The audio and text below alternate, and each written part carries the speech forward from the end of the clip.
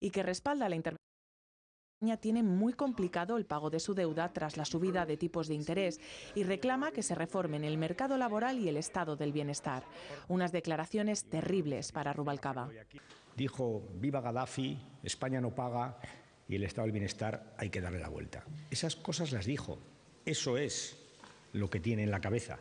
Y por tanto, eso es lo que tiene el otro en la cabeza. No os engañéis, porque al final manda quien manda. Para el PP, Rubalcaba da más importancia a lo que dice Aznar en una conferencia privada que a los problemas del país. Terrible, además de que en España haya 5 millones de parados, es que el Gobierno no tenga política social, no se preocupe por los más débiles y se haya olvidado de los trabajadores. José Blanco exige a Rajoy que rectifique a Aznar. A desmentir si es que tiene la autoridad en el Partido Popular y si no lo desmiente hoy, Rajoy es cómplice de lo que dice Aznar. Y añade que Aznar está del lado del dictador y no de los que luchan por la democracia. Rajoy no ha opinado. España tiene un problema de confianza y acusa a Zapatero de no arreglarlo e ir en sentido contrario. No puede ir a China a anunciar que va a haber inversiones en las entidades financieras españolas para que al día siguiente le desmientan los responsables que supuestamente iban a invertir en esas entidades financieras.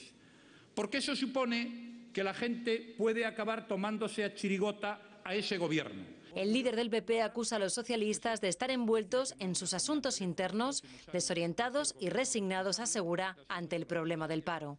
Ve al ministro de Trabajo diciendo que es posible que lleguemos a 5 millones de parados, o que cree que no va a ser necesario tirar del fondo de reserva para pagar las pensiones es algo impropio de un país serio.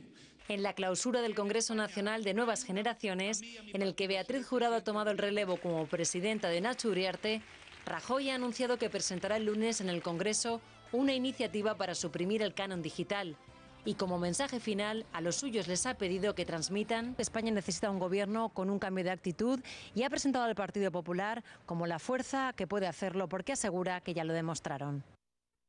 Más de 36 kilómetros por hora.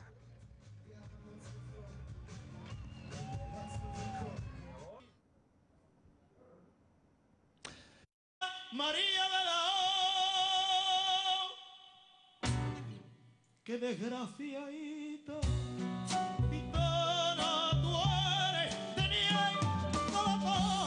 Cuando se sube al escenario siente cada verso que canta. Como si fuese una obra de teatro y él el protagonista de una historia de amor.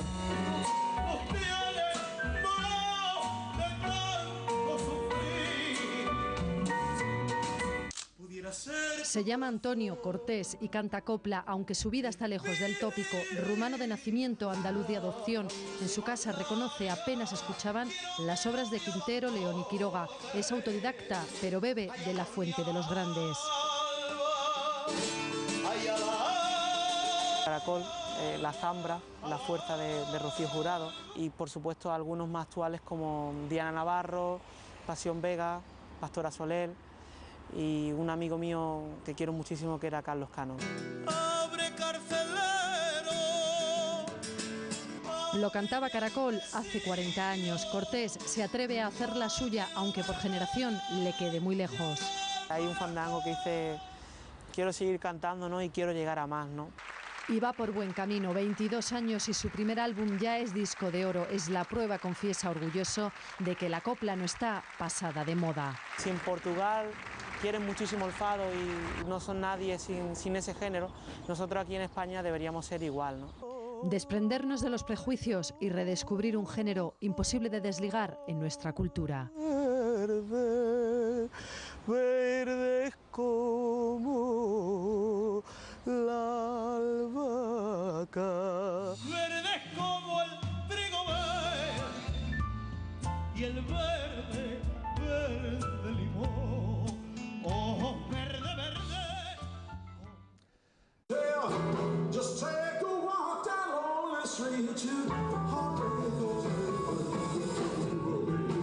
Se titula The King's Story, Elvis y yo. Y es que este musical refleja la amistad del rey del rock con Greg Miller, considerado su mejor imitador. con canciones y con imágenes, muchas inéditas, y homenajea a Elvis Presley en este montaje que estará en Barcelona hasta finales de mayo. Después viajará a Valencia, Pamplona y Logroño.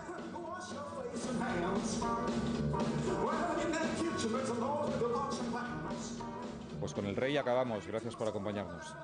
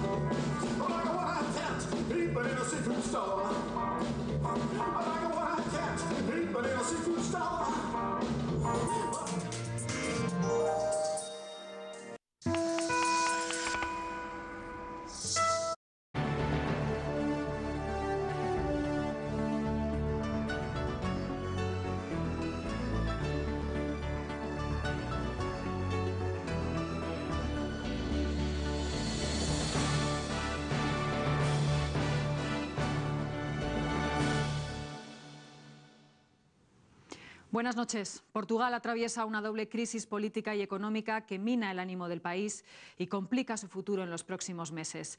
El rescate de la Unión Europea, el Fondo Monetario Internacional y el Banco Central Europeo es inminente y se calcula que rondará los 80.000 millones de euros. Esta ayuda obligará al país a someterse a un plan de ajuste económico muy exigente para corregir su déficit.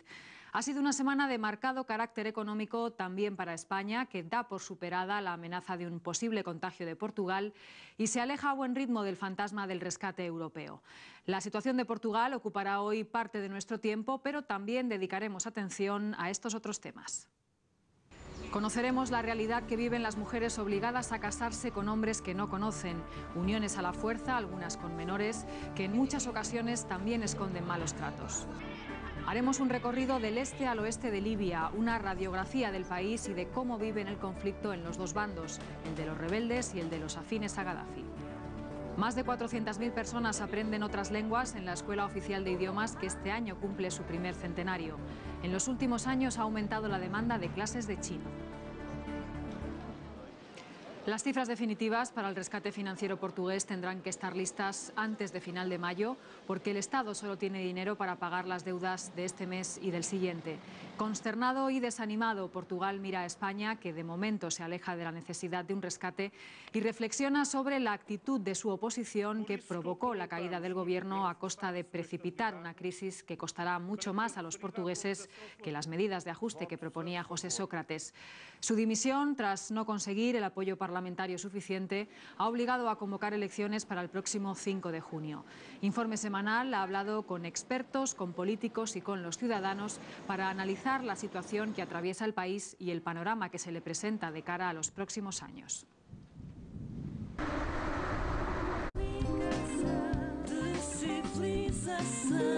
Como si la metáfora se hiciera realidad, desde esta semana los portugueses saben que en sus nuevos caminos hacia el futuro ahora necesitan el remolque de la ayuda internacional. La guerra que enfrenta a los mercados financieros con los gobiernos continúa viva y se ha cobrado su última pieza. Primero fue Grecia, después Irlanda, ahora Portugal, al borde del precipicio pidiendo socorro para calmar a los especuladores que juegan con el miedo de que un Estado pueda entrar en quiebra para cobrar después más altos tipos de interés. Presos de la inexorable lógica del mercado, los portugueses saben que se enfrentan ya a mayores sacrificios y se preguntan por qué sus políticos no han podido evitarles la frustración y el fatalismo del fado más triste.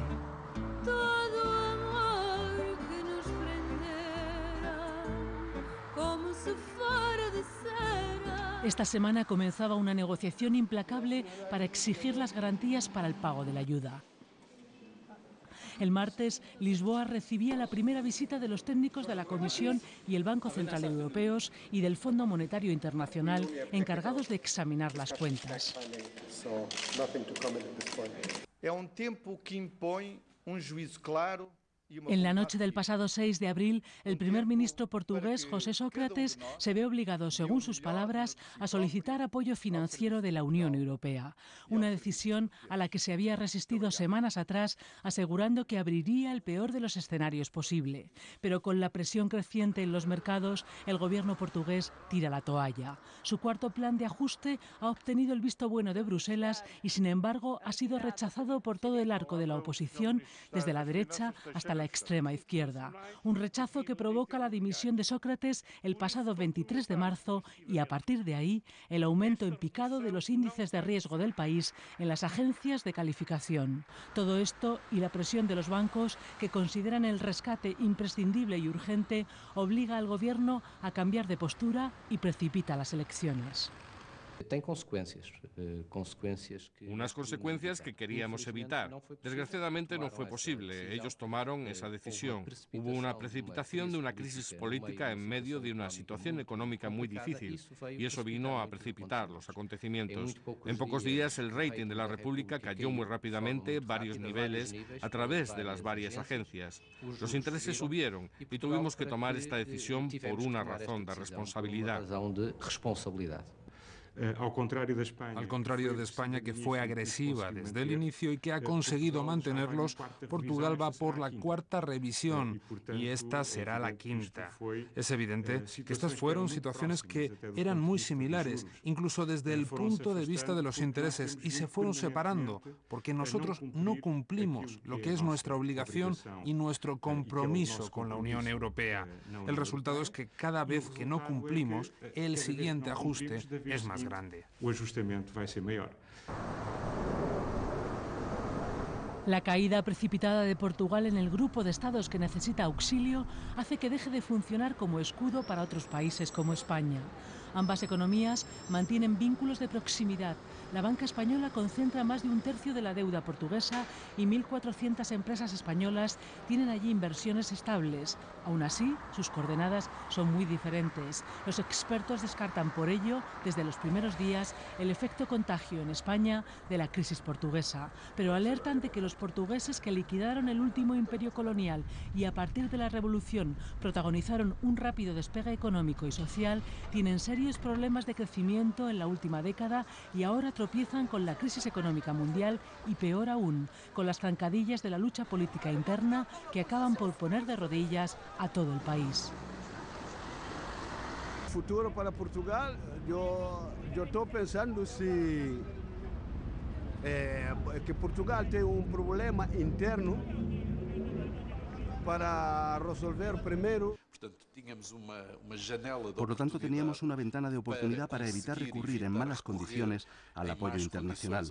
Pero después hubo una decisión política de los partidos de la oposición que hicieron fracasar este último programa de austeridad llamado Programa de Estabilidad y Crecimiento Cuarto, presentado por el Gobierno, y con el fracaso de este programa, el Gobierno cayó y por consiguiente ha habido que convocar elecciones. Condenados a entenderse, ahora el Fondo Monetario Internacional y los socios europeos exigen acuerdo entre los partidos para que llegue el rescate. Portugal necesitará unos 80.000 millones de euros para que sus arcas públicas no se queden vacías a partir de mayo, pero la ayuda tiene un precio y las medidas de austeridad que se negocian estos días serán supervisadas cada tres meses y exigirán sacrificios extras a una población que esta semana se enfrentaba además a otro tremendo veredicto del FMI, el que sitúa a Portugal como único país del mundo en recesión en 2012. Cuando los periódicos mm, muestran qué sucedió en Grecia y qué sucedió en Irlanda, hay una incredulidad, ¿me entiendes? La gente no se cree que eso les pueda, suceder a ellos. Pero todo el país está pendiente de estas negociaciones y de la salida de, estas negociaciones. Con un problema adicional que no tuvieron los irlandeses, es que cuando estamos hablando tú y yo, no sabemos todavía si los partidos a la derecha del PS que quieren gobernar después de las elecciones del 5 de, de, junio se ponen de acuerdo con el resultado de estas negociaciones que van a ser conducidas por el gobierno socialista. En este mercado de Lisboa hace mucho tiempo que no se ven grandes multitudes. La crisis afecta hasta los últimos rincones. Los portugueses son conscientes de que su economía camina a paso de caracol y viven una mezcla de miedo e incertidumbre que se suma a la tradicional saudade.